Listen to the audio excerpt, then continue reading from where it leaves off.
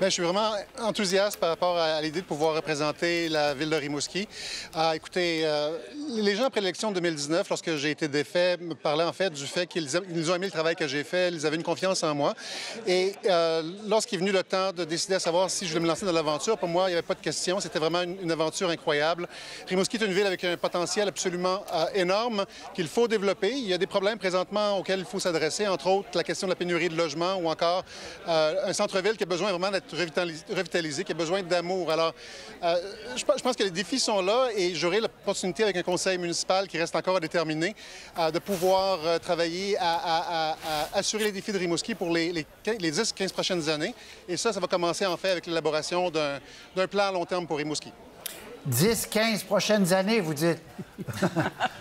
Oui, non, effectivement. effectivement je ne dis pas que je vais être nécessairement là pendant 10-15 ans, mais je, pense que ce qui est, important, c'est que la Ville puisse voir euh, vraiment, avec tout ce qu'on a comme, comme, situation, puisse voir d'ici au moins 2030 que les citoyens puissent pouvoir décider euh, du Rimouski qu'ils veulent avoir pour l'avenir. C'est ce que j'ai promis dès le départ de ma campagne, c'est-à-dire qu'il y aura une consultation citoyenne pour ce plan à long terme duquel sera développé en fait l'ensemble de tous les plans d'action.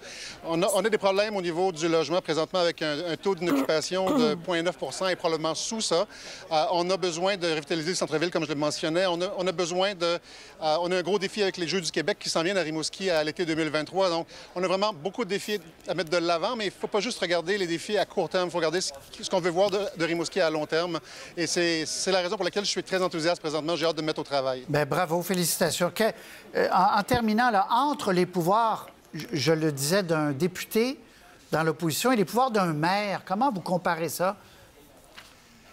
Ah, c'était une question intéressante. Vous savez que j'étais dans l'opposition en, politique fédérale. Alors, euh, évidemment, il y avait des contraintes par rapport à ça, c'est-à-dire que je n'étais pas au milieu des décisions qui étaient prises. Alors que comme maire, effectivement, j'aurais, avec une, équipe qualifiée à l'Hôtel de Ville, avec un conseil municipal également, j'aurais la possibilité de pouvoir façonner, en fait, l'avenir de Rimouski. Euh, les pouvoirs, effectivement, sont plus limités, mais je pense qu'il y a un grand mouvement pour assurer un plus grand essor pour les municipalités, d'assurer que les municipalités puissent mm. jouer pleinement leur rôle qui a été donné par le gouvernement du Québec en 2017 de gouvernement de proximité on est des gouvernements de proximité, mais on n'a pas nécessairement les ressources qui viennent avec cette responsabilité. Alors, euh, au niveau de l'UMQ, euh, il y aura vraiment beaucoup de travail à faire et, j'ai hâte de pouvoir m'impliquer non seulement pour Rimouski, mais également pour l'ensemble des municipalités du Québec pour ces, revendications qui seront importantes pour, pour l'avenir du Québec. Très bien. Merci beaucoup, M. Caron.